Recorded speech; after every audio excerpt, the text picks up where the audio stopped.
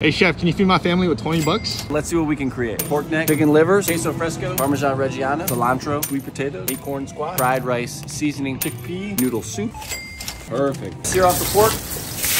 My potatoes. Into the oven. Here's our flour. Chickpeas.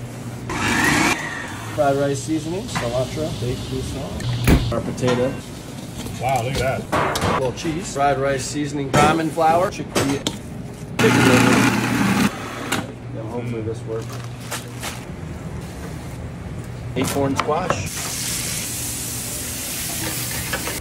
Bone pieces off, chop it up a little bit. Into a new pot, put a little bit of this.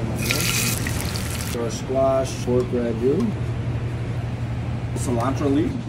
We made a sweet potato gnocchi with a braised pork neck, acorn squash, and crispy chickpeas. Let's do it. Wow.